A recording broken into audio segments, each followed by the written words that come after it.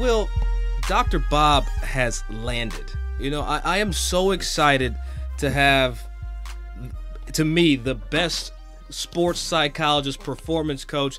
Doc goes by the or the confidence doctor. Dr. Bob, welcome in to Beyond the Fairway. Yeah, Doug. Well, it's great to be here, you know, with you guys, and uh, really excited to be beyond the fairway. And That's congratulations right. on all of your success, 100 episodes. And is this number 101? 101. 101.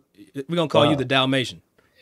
Yeah, that's great. Kind of reminds me of the old uh, Virginia Slim cigarette commercials. It's like 101 millimeters. You know, it's a silly a silly millimeter longer. You know, so yeah, so it's it's it's a, a great honor to be number 101. I love well, that. Thank well, you. We appreciate you, Doc, and we we got a lot of things to kind of talk to you about because one thing that we want to do with our listeners uh, and the folks that view our show is we, you know, we talk to some of the coolest people in golf, influencers, celebrities, but it's rare, Will, that we get an opportunity to talk to somebody that that can can really affect their game, and that's really what what this whole episode is about. As we're winding down the FedEx Cup season, some people's seasons, Will, you're at the uh, the the Curry Cup there at Lake Merced as the as their seasons are winding down. How do you goal set for the following season? We're gonna get into a bunch of stuff, Doc, and we appreciate your time, but but Will, how is the Curry Cup going right now? Man, I tell you, the Curry Cup is amazing. I am running around here with my well, that my like a chick with my head cut off. But you know, the the the Curry Cup is like a tour championship. You know, you, you yep. got you got Steph on the first tee box for these kids, and you know, uh, you see these kids who went on a season long points race similar to the uh, PGA Tour FedEx Cup point uh, race, and now we're on a, a KPMG underrated golf tour race, and seeing these kids how they perform in front of this big crowd, which kind of leads me to my first question uh, you know, when, when we talk about, you know, these these young kids, right, and we're talking about from a mental standpoint, uh, from an adult, you can also kind of, you know, have a language to kind of help them understand of, of, the point that you're trying to make. You know, how do you relate to kids though? You know, because kids don't have all the, the the life experiences that an adult would have, to where you can kind of make parables to get them in the point in the right direction. So, what type of language do you use, Dr. Bob, when it comes to talking to kids and just get on the right track? Well, well, the, the whole point of it is I talk straight up, you know, to junior golfers. I mean, the same, you know, language I use, you know, for even my tour players. And this is the meat and potatoes. This is how you do it. And it always begins and ends with you. So you are the alpha and the omega, the beginning and the end. And if it is to be, it has to begin and end with me. And so when I start talking to them about, you know, great performance, you know, you are what you think you are. I mean, even when I've been working with any of my players, I mean, the best of the best in the world, and even my first time, you know, uh, junior players, I ask them this very basic question: Are you good? And they look at me and they go, "What does that mean?" I'm, I said, "I'm in respect to your golfing talent. Are you good? And do you believe in your talent?" And I'm looking for a knee-jerk response there, Will and Doug. And when I have a player say, Yes, absolutely. I mean, I know right away that they have a deep set conviction that they believe in their talent. Because the most important thing for any golfer, whether a junior, college, you know, tour player or whatever, even a player getting ready to step up on the first tee, you know, in Italy in the Ryder Cup, is do I believe in my talent? And will I let the good stuff show up today? And, and to me, that's really where you have to begin and end with it. It's all about your confidence. It's all about your attitude. And all of that is, you know, determined by your own mental and emotional uh, setup and your preparation. So we talk just really basic stuff to them. And I try to keep it simple and specific. And I don't talk down to them. A lot of people say, well, you know, do you dumb it down? No, I think, you know, young people, even as junior players, as you guys, you know, know growing up, you had this intuitive sense. I mean, we know when we actually play in sports and you're the first one picked on a team, that intuitively tells you that you know you're a great player so i want you on my team yeah. or that or that you have you know the captain's a good friend of yours so he wants you on the team or she wants you on the team but we know that you know and little kids understand that so yeah. we have to understand as adults we sometimes get away from this notion of play because play, you know, as an acronym for means perform like a youth. And that's why I always hear all my, you know, grizzled veteran players go, it's just not any fun for me anymore. I'm making it work. I'm making it labored. So I'm always trying to keep it light, keep it fun, and, keep it very simple and direct because the game of golf is tough enough. We don't need to be actually making it more difficult than it really is. No, I hear that, Doc. You- it- go ahead, Doug. You want me to go? Well, Doug. So, Doug, be quiet. So here, here's the thing that where I'm at right here, Doctor Bob, and I'm glad you said, you know, making it um, uh, talk like an adult. We don't need to make game more difficult, Doctor Bob. How do we speak to the parents, not adding additional pressure to these kids? when we start talking about pressure, pressure is really defined, Will and Doug, as a factor or any combination of factors that increases the importance of one wanting to perform well. That's a great definition. Came by a wonderful uh, researcher. Keep by going, Doctor Bob. Keep by the going. name of Baumeister. So pressure, and we start talking about pressure, you're talking about perceived value. You're saying, you know, this is really important. So anytime you make something really important, you actually put a perceived value. If it didn't really mean anything to you, you wouldn't feel any pressure. And what happens to a lot of players, you know, young players especially, they want to impress, they want to compare themselves to others, and they want to please their parents.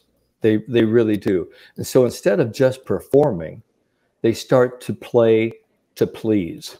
And they're always looking over at their parents, and their parents are saying, you know, do this, do that. And the funny thing is, a lot of these parents, you know, even well intentioned, are saying, hey, just have a good time, relax, you know, just just play golf. You're supposed to be having fun. And then at the end of the day, you know, when they get back in the car and they look at these young players, the first thing they do is, what the hell did you do on number 12? What was that all about? And, you know, where's your head at? So there's a, you know, conflicting message here. And the one thing I always want to tell parents is let your player be creative. Give them the emotional freedom to just perform. If you've done a good job of helping them prepare, then I just need you to sit back and watch and observe. Yeah, Doc, but all these parents think their damn kids are going to play on a damn tour and they're going to Oh, they're going to be their that. meal ticket up out of the hood or out of the whatever, Oh. what kind of strife. And and Dr. Bob, I, I need my kid shooting 68 at 11 years old because we got to because if we don't shoot this score, we can't get into this tournament and we can't go here. And and I feel like, and Will, I don't mean to speak for you. I feel like that's what I see. And and give you a quick one, Hmm. Oh, Doc, yeah. before you respond is. You know, I used to work with a guy named Dennis Sprague back at the University of Kentucky back when I was like 16 or 17. And we talked about, you know, I was a junior golfer. And one of my biggest anxieties on the golf course was my mom's reaction to shots. Like I would hit a shot, and instead of watching the ball fly, I would just look at my mom. And if she threw Oh, her yeah. hands up and walked to the next tee box, I knew it sucked. If she just didn't react, I knew it was okay. And if she gave me a golf clap, I knew it was awesome. So like the thing is, is like sometimes, or do you ever to, to dovetail off Will, just tell the parents to shut the hell up? I try to do it in a very diplomatic way, and the, and the, and the way and the way I do this is I always tell them, you know, this is a really tough game, and so I said, "Do you really want to help your son or your daughter?" And they go, "Well, absolutely." And I'm sitting here going, "I just need you to actually cut the cord."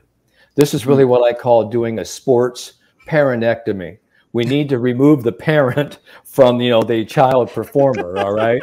So, and, and really, that's what I do. We sit down and have an agreement when I'm working with a junior player, elite junior player, or whoever mm-hmm. it is, or with parents who are helicopter parents.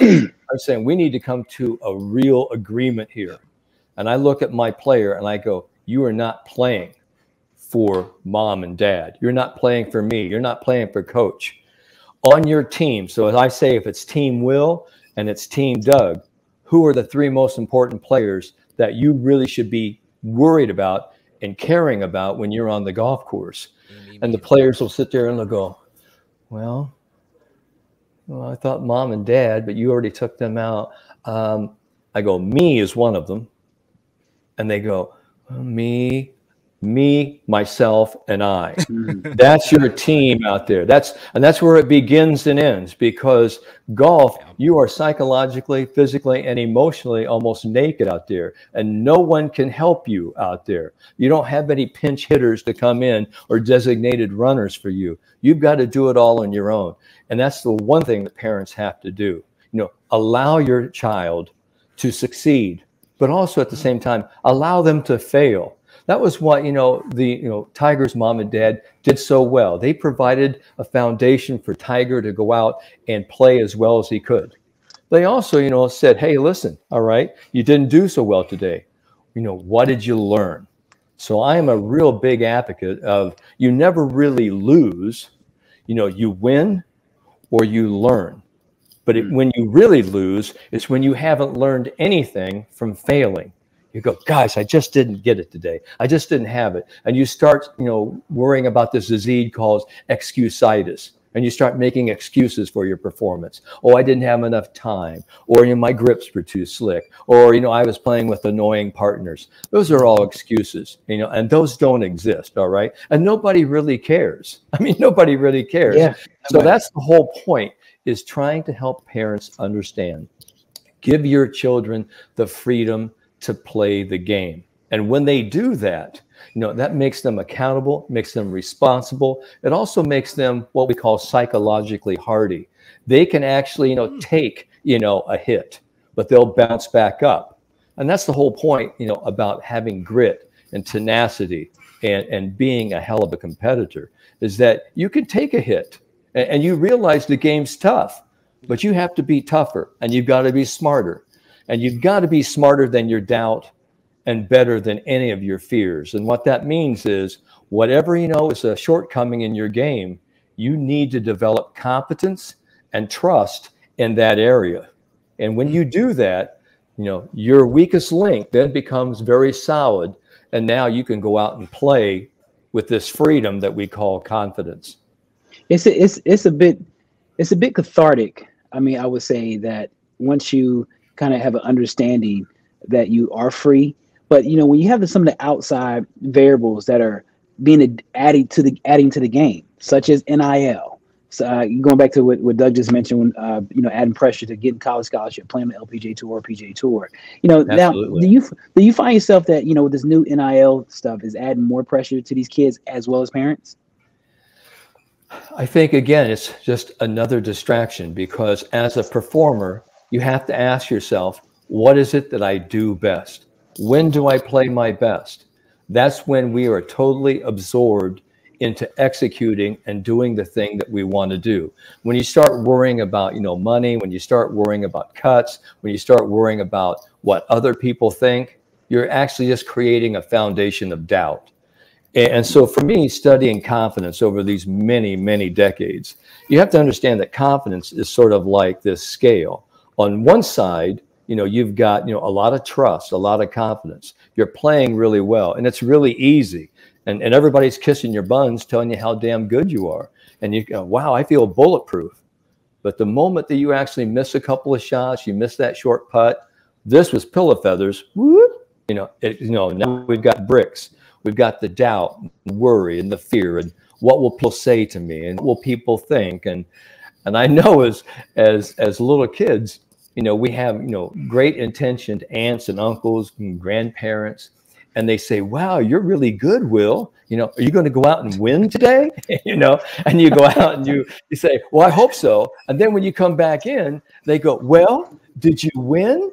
You know, and if you didn't, there's only two responses yes, I did. And no, thanks, Grandma, for right. asking me that. Right. Hey, so hey, but hey, Doug, there's no recourse. Hey, Doug.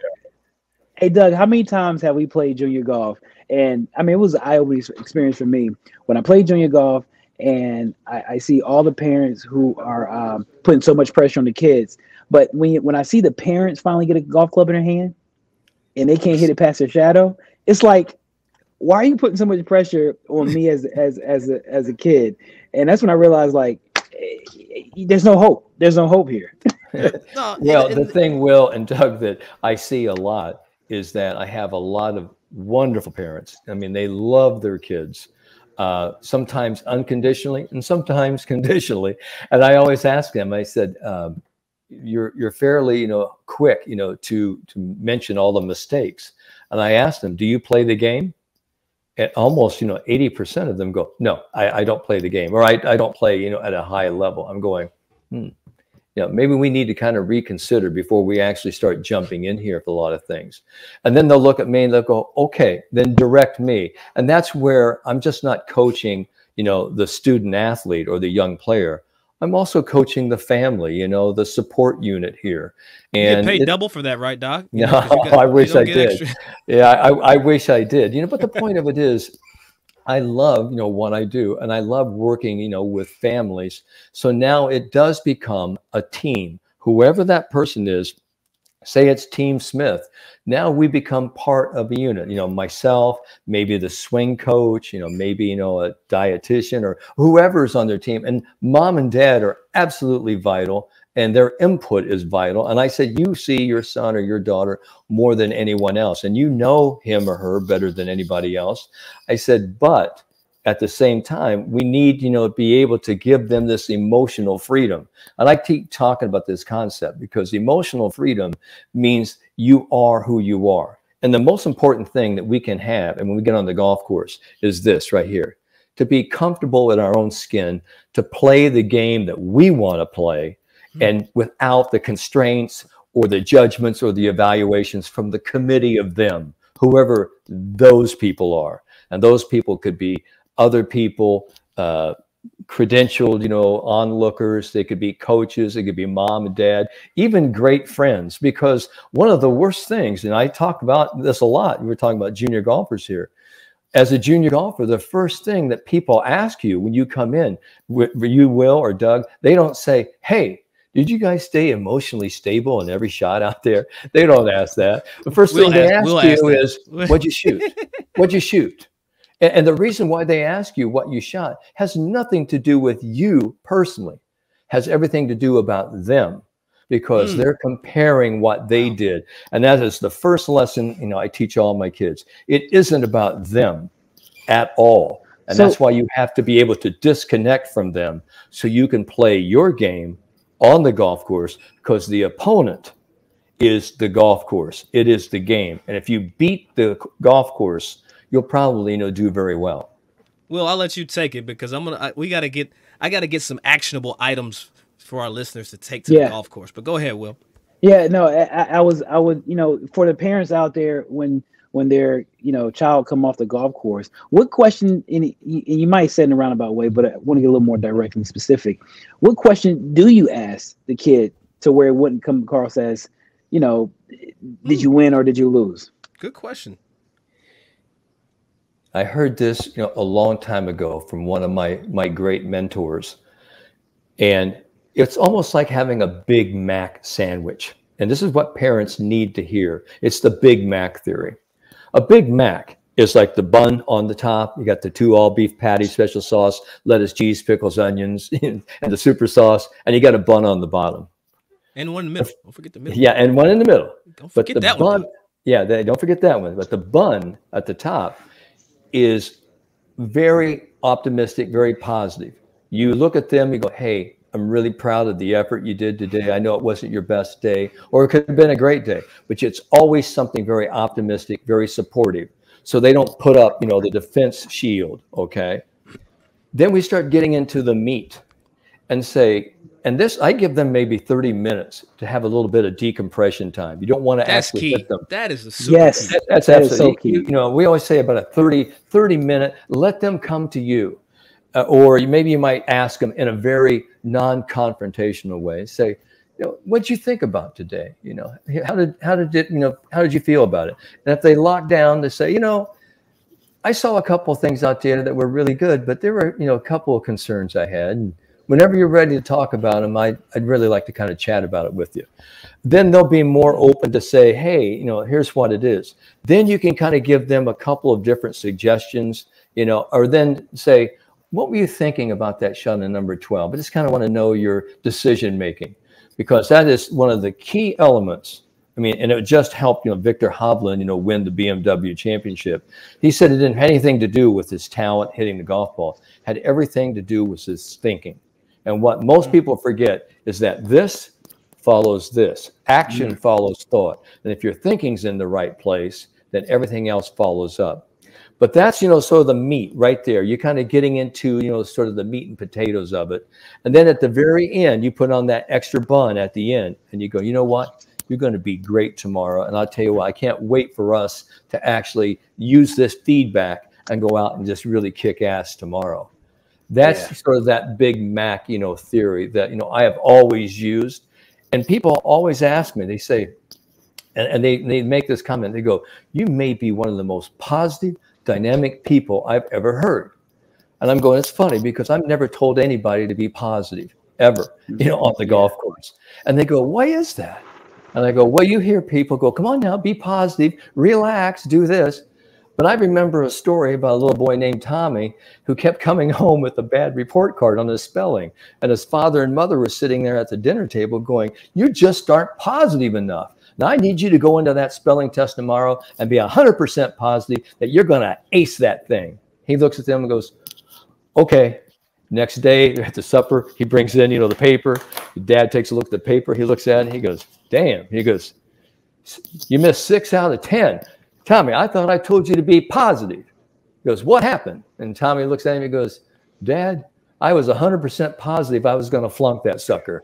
so, so ever since that time, I've never told anybody to be positive. I've told them to be very purposeful, have, you know, great intent, have great direction, you know, with their mindset and go out there and give themselves the freedom to express, you know, that developed talent that they have.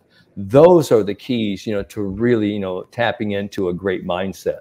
Well, you talk about keys, and, and you brought him up there, Dr. Bob. So let's go ahead and get into this because what Viktor Hovland did at the BMW Championship, arguably, arguably one of the, best performances of the season, um, with how he was able to navigate the the terrain at the North Course at Olympia Field. So, but but what I want to talk to you about, Dr. Bob, is is there's this moment in in a round, a good round of golf, and we've all played it, where we start to realize that we're doing something special. We're doing something a little bit above board. Okay, you go back to Viktor Hovland's 61. He makes the turn.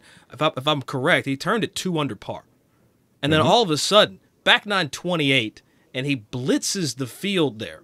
So my a couple questions here, and I want to start. Let's talk about the zone, because when we look at the pressure that Viktor was under, he came in. I want to say six shots out of the lead. You know, there were some people that did pick him to win. I wasn't one of them. Thought Scotty had that in the bag but how the zone? It's like this elusive thing. It's kind of like you know. I'm not going to make the comment I want to make, but it's kind of like this mythological spot, right? So, um, how do you how do you access it, and then how do you access it when you need it, or or is it just a a state of being for a day or a week or a, a period of time? What is the zone? Tell me.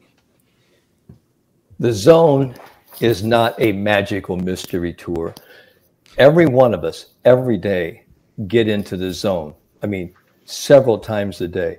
The zone is nothing more than just having just total absor absorption and being engaged in the moment in whatever activity you're doing.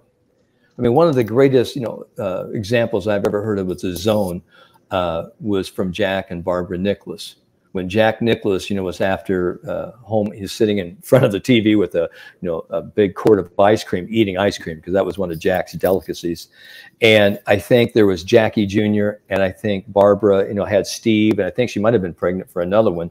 And you know, she was in the kitchen getting, you know, supper ready, and she was yelling for Jack to come because the water was boiling over. And here was Jack in front of the TV, and he was just immersed, just eating that ice cream, and and Barbara was going, Jack Jack. And finally she goes, Jack. And he finally looks up. He goes, what? You know, are you, you, you, you need something? She goes, I've been yelling at you for the last two minutes. And he goes, oh, I, I didn't hear you. You hmm. see, so really being in the zone is really what we talk about total focus concentration, meaning that you are absorbed into whatever activity in the sensory system you're processing information in at that time. So it is total mindfulness. Your mind is full of really what's going on in the moment. And all of us do this. I mean, we're watching a you know, TV show, we're watching a football game, or we're involved in some activity. time ceases to exist. We are totally in the present moment. And that's really what being engaged in the moment is all about. And that's why so you Will, hear, so Will's in the zone when I'm trying to talk to him and he's just not responding and not paying attention. That, he's just in the zone. No, that could be selective attention, Will. He's Oh. he's just trying just he's to- just tuning I'm he's just tuning you out. He's just tuning okay, you out. that's what it is. But see, that's that's a great you know uh, mental skill as well to be able to attenuate or gate out or disconnect from all of the distractions. All right, and that's really you know where when you you hear people who have sort of rabbit ears and they hear everything, they're totally their attention isn't focused on this Yeah. one thing. It's focused on everything and everything around them. They hear everything. They're in tune to everything. So let's talk about, you know, how do you really get into the zone? The zone is that's really what I need to know. the zone. And and if, if everybody, all the listeners and viewers, you know, listen to this, this is just huge. Okay. Now I'm going to give you guys, and I'll do a little, you know, session here.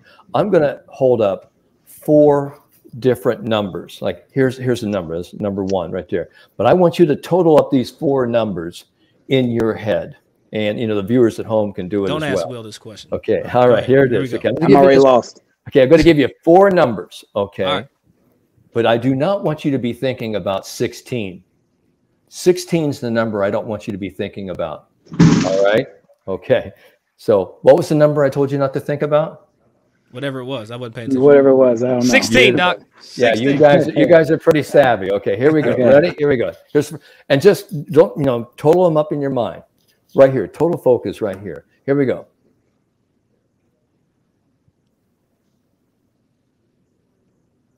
What was the total? 10. Did you get that, Will? Here we go. Let's do it again. yeah.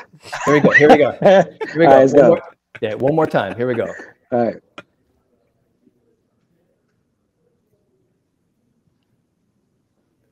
Total. 10. Beautiful. You know, you got it just right.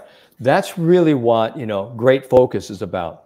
I You're- thought 16 every time you put a finger up, Doc. I ain't gonna Yeah, lie. exactly. I was like, I was like, I was like, square root of okay, No. four, you know, four times. But, but here's here's what I want you guys to understand is that when you are processing information in the moment, when you are here, right here, this is where I need to be. Your mind is totally focused on execution, focusing on execution. I'm into this moment right now. You're not, you know, thinking about what if, what could be. You're saying, this is what I need to do right now. And that's why Nike, you know, those three words in their slogan, just do it. When you're doing something, you are engaged in that moment. And that's the whole point. When you're actually, you know, in involved in the process, you are right here. And even if you listen to Viktor in his interviews, and this is what I love to listen to winners talk about their interviews, they they asked him, "Where were you at? I mean, you're in this zone." He goes, well, "I really don't know if I was zone, but I was just really totally one after one after one until I done. In fact, I didn't realize until I looked at the leaderboard really what I was doing until I, I saw I might have a chance. And when you're talking about that, Doug, you're talking about when someone makes you aware yes. of your awareness, right? And so, what happens when you do that? When someone says, "Wow, you're playing really good, Will, Doug, keep it going." okay, That's the you're sitting there going, "Damn, I am playing pretty good," uh, you know. And what happens? You start looking at the scorecard and you start totaling up, and then you start projecting. Wow, if I can make a couple more birdies, I could shoot my own personal record, or or, or shoot my A, or whatever it is.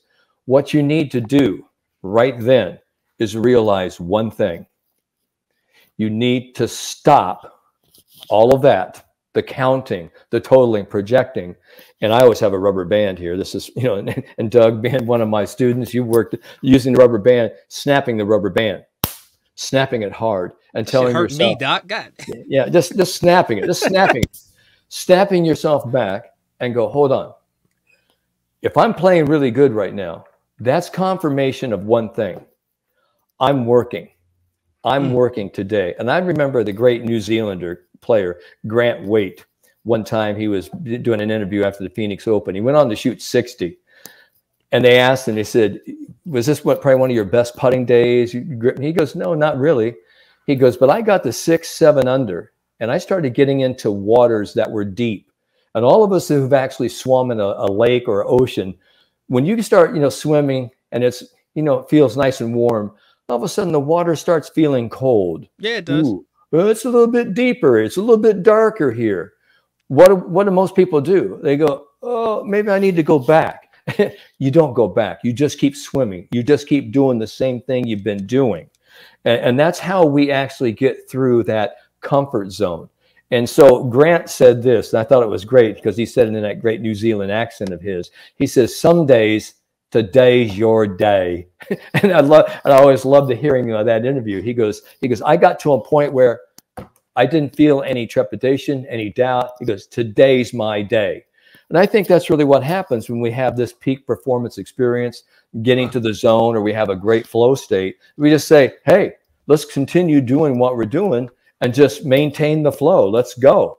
Let's, you know, instead of sitting here going, oh, I, oh, I hope I can hold on to it, put it down, keep moving forward. And that's the whole point about one after one after one until Will or Doug is done, because one is the most important number in golf. And if you can stay focused on playing each shot, one shot, one shot, one shot at a time, that sounds you're, so you're damn gold. cliche. I just want to play one shot, Will, just hit the shot after the shot. But, Go ahead. But, but, here's here's the point. I really want to, you know, say this.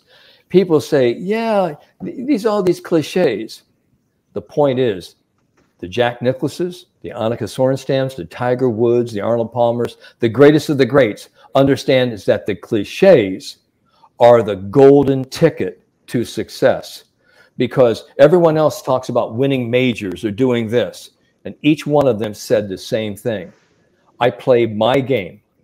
I beat the golf course. I play one shot at a time.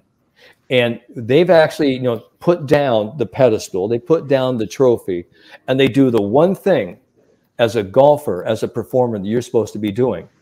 And that is to play your game the way you see it and to beat the golf course. And if you do that, if you just do that, I mean, one after one after one. That is a mental discipline because this whole great journey that we're on, it does begin with a single step. And you can eat an elephant, but you have to eat it one bite at a time. We hear these cliches all the time. So this is kind of really what you need to have. Absolutely. I, I, I can't I can't agree with you more. Um, my golf my golf coach used to say all the time, uh, James Black, God, God rest his soul, rest in peace. Uh, used to always say, you know, um, physical education, one of the most important parts of education. The athletic body has to find the right mind. And when you have that one one shot at a time, you're definitely uh, in alignment. Uh, but you know, I want to kind of move forward when it comes to uh, you, Dr. Bob. Uh-huh. So w- when we talk about like, you know, and I, I, think this is another entry point to the game, uh, another entry point to uh, being part of the game of golf. How'd you get your start as as a mental guru, mental golf coach? oh, yes, that's a loaded question, Will. Okay. All right. Well, well, uh, four here's, minute for okay. Uh, well, here, here's wait, here, here's here's the point. Here's the point. When I was, uh, you know, in high school, I, I didn't start picking up the game until I was about 14. But you have to understand, when I was a senior in high school, I was four foot 10, 86 pounds. I could crush the ball about 185, 190 mm. off the tee. Uh, and so I sort of, you know, I was a great little athlete. I had great eye hand coordination. I had, you know, used to call me Winters the wedge, and I could get it up and down. Didn't hit it very far. Uh, I had a great short game, but they said save that for the for the green. I mean, I could actually hit it very short, and I was always 40, 50 yards behind everyone. So I had to rely on thinking, you know, thinking in my way around the course. I had to rely on my mental toughness. Uh, sometimes, you know, people said I play with like a chip on my shoulder. It wasn't so much that, is that I knew I, I, could play this game. And so as, you know, time went on and I grew a little bit and I played at every level and I just started, you know, to really understand how important, you know, the mind game was. And I remember going to talking to Dr. Gary Wiren back in, I think, 1980, 1981, who was director of learning and research. Wonderful man. He said, I don't really know where, you know, this is going to go. He goes, but you're into visualization. I, I got started in sports vision, sports medicine. I had all my different degrees in physical education and psychology. And then I uh, entered, you know, the University of Virginia with, you know, Dr. Bob Rotella and Dr. Linda Bunker, who were just, you know, giants, you know, of, in motor learning and sports psychology. And then I, you know, hooked up with, you know, David Leadbetter about 25 years ago. And over the last 40, 50 years, I mean, it's just been this accumulation of knowledge and helping start, you know, the Nike golf schools across America and being a coach at the University of Virginia. Uh, it's all been about one thing, and you are what you think you are. It isn't just the law of attraction, you know, thinking good stuff. It's the law of creation. And when you have the law of attraction, you you think this, but you actually do purpose purposeful things to get you to where you want to go. That's when you have real power now. And so every day of my life, well, since I was about 20 years old, it's been dedicated to understanding what confidence is all about. Because confidence, mm. most people think is just a belief. Confidence is like a fighter. You got, you know, I believe I can do this. But why people love confidence is this right hand cross, the knockout punch. It says, mm. I'm not afraid. I'm fearless. You know, let's go. I'm not afraid to fail. I'm not afraid to screw up. And that's why people love the feeling of confidence. But for many people, it's a very mm. transitory, temporary state. And what I'm trying to do is make it very stable, very enduring, and make people a, a tenacious, confident athlete. What what what type of advice would you give uh, individuals who are trying to be that that motivational speaker, that that uh, sports psychologist? Because they can't call you all the time. They can't call Bob Rotella. I mean, is there is there is there yeah. certain books that you advise them to read? Is you, you know, and I'm and I'm really speaking to some of the golf coaches out there, high school and college. You know, what what what type of you know books would you advise them to read, or what type of material to to kind of help them in their knowledge in the space? one of the greatest books that I read uh, early in my training uh, was The Magic of Thinking Big mm. uh, by David Schwartz. Also, another by Claude Bristol was The Magic of Believing. I mean, these two books, I mean, they're like 1930, 1940, 1950. You might think it's dated, uh, dated information, but commercially, it might be you know, not ever, but, it, I want to say commercially, it's evergreen. You know, the message is is time withstanding. I mean, you are what you think you are, and that's the whole point. People always ask me all the time, Doctor Doctor Bob, do I have the talent to make it on tour? Do I have the talent to make it, you know, D one or play in college?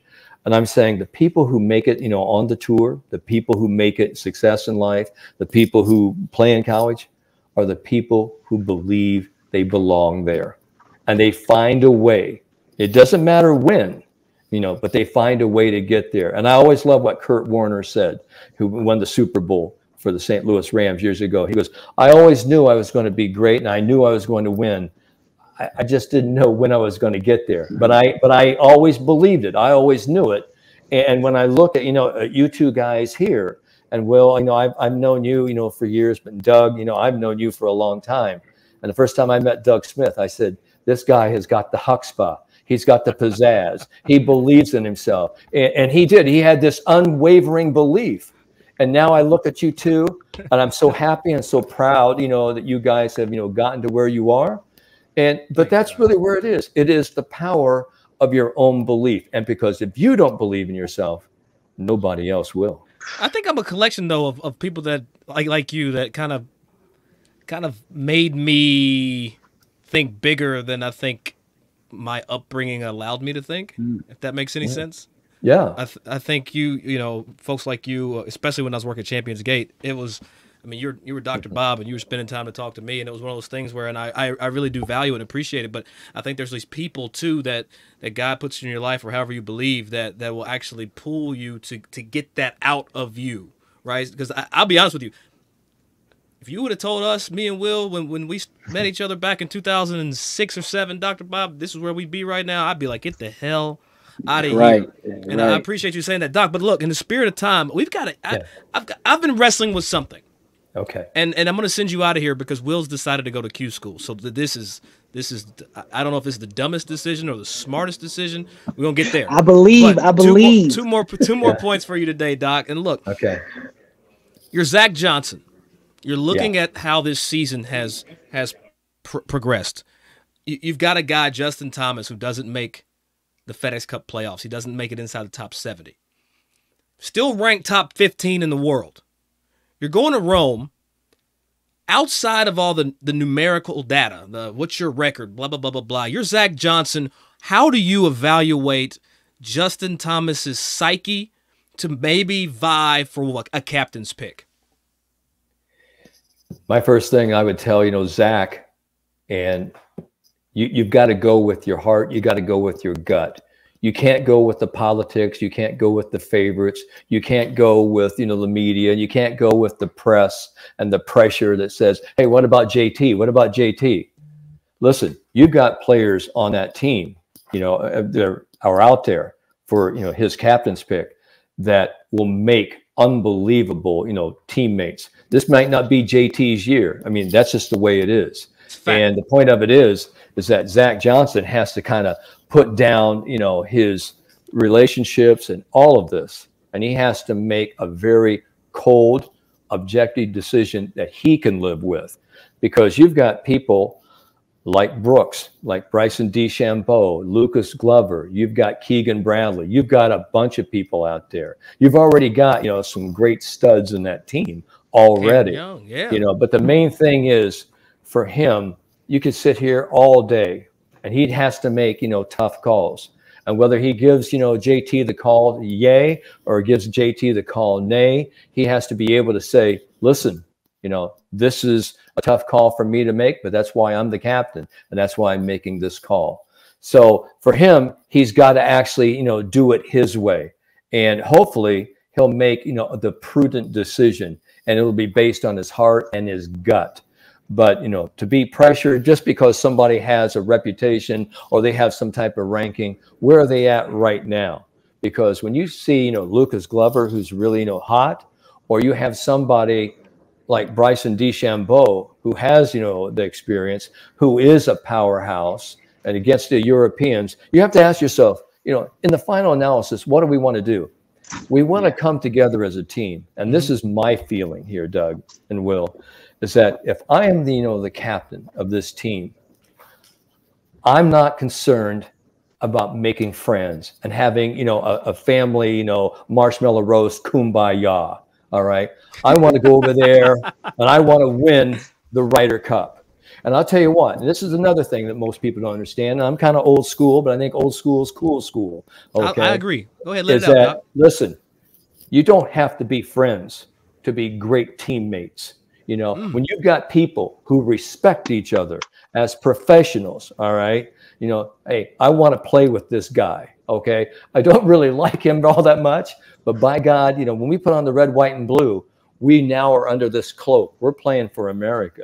And so I want, you know, somebody, if I'm going to war with somebody, hey, listen, we may have differences, but that's that's the opposition. Okay. And I'm not trying to equate this to war or what everything. But the point of it is yeah, I mean, I love it. I, I want I want you know teammates that you know I mean that when when they go down, I can trust them.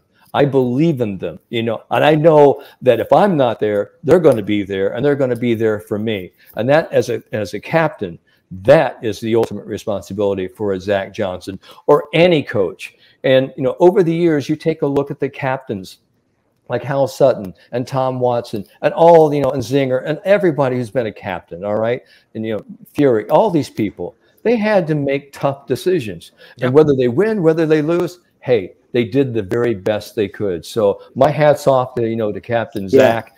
I know he'll do a great job and he's got, you know, some great, you know, assistants, some great people around him. But in the end, in the final analysis, You've got to let go of the politics. You got to let go of the press, and you've got to get some people on that team that will be great players because that's what the Ryder Cup's about. It's playing the game. That sums up Doug and our relationship. Don't really like each other too much, but we understand the ultimate goal. And and and think about it. I, I don't know if JT is going to pull uh, what Doug Smith did in his early years. Had a great relationship with the captain, just to get on the team. So we don't know how that's going to work. Uh, but either way, you, Will, jerk. oh no, but Will's going to Q school, Doctor Bob, so he actually might need. I don't know. Dr. Tell you Bob, what, Will, any, anything I can are, help you with, anything I will, I, I will, throw my hat in the ring for you, Will. I, I would be honored, you know, to help. Doc, as trained as you are, I don't think you have enough to help him. Listen, let, let me say, right, Doc, right here. I say, I say this. I, I'm saying this because the thing about it is, I, and I know this is probably this is probably not the smartest thing for me to say. By me not practicing as much and putting so much pressure on myself, I have I have been scoring very well. Now, granted, I have, you know what? I'm gonna go ahead and moonwalk out of this. All right, Dr. Bob, I appreciate. No, no, no, no. Hold, hold. Here's here's here's the one thing I can tell you right now, is that everyone starts thinking, oh, I've got Q school. I've really got to get serious about this. Oh, I've got you know a big tournament coming. I got to get really serious about this. Angels fly high because they take themselves lightly. Okay. They allow themselves to fly. The point of it is you're playing some of your very best golf right now Bars. because you're playing golf. You're playing golf. Mm. You're not playing, oh, I have to play like a professional. I have to play well to make it through Q school. That's that's a different animal. That's a distraction. So you can just keep playing loose, free, and lightly, and just keep Play- playing the game. You know, you'll be just fine. Exactly. AKA no practice. I'm just gonna show up and see y'all. So, but look, real quick, Dr. Bob, before we get you out of here, I want to say Sure. thank you because if there's any lesson, all the jokes and conversation and mentor moments, if there's anything I've ever learned from you, you said something to me that echoed through decades. You said, any player, every player is going to hit a bad shot. Only the good players will recover. So if you hit a bad shot, you should be excited because that's the only time you get to prove how good you are. Now, I I doubt you remember even telling me that because it was in a conversation full of things. But I will say, hitting bad shots and like running to them because you told like learning that if you want to really show someone you're good, every good player is gonna hit a good shot. Every every player is gonna hit a bad shot, but the good ones recover. You should be excited to hit the next shot because that's where you show your talent. That was just enough cocky advice and enough like almost humility in the advice at the same time that I have never forgot. And to this day, I still skip to shots where I've hit it like the worst first tee participant, underrated tour participant in the world. and, and, and by and by that that works because he hit a lot of bad shots. It's it's funny because people always talk about your thoughts and possibility thinking. I've never told anybody to to think pos- positive, but I've always been about possibility thinking.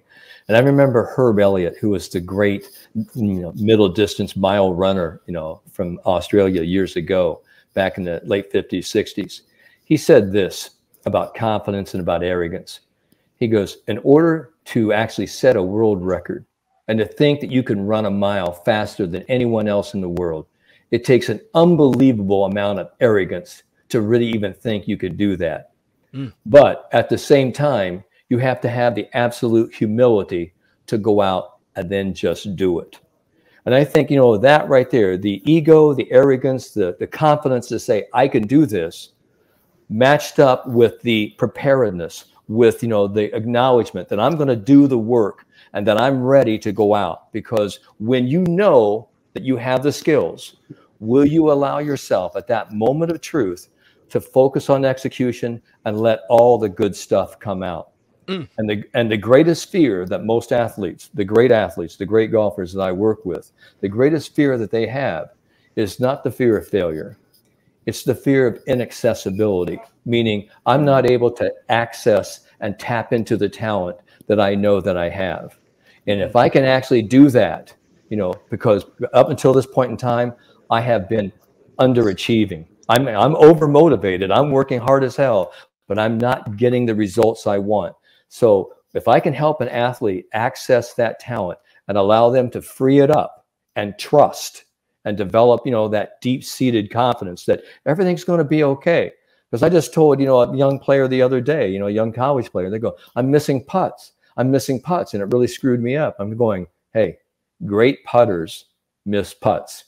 And I always remember Seve Ballesteros at the Masters. He four putted from six feet on number 16. And he goes into the press room and he goes, Well, the first putt, uh, I miss. The second putt, I miss. The third putt, I miss. The fourth putt, go in the hole.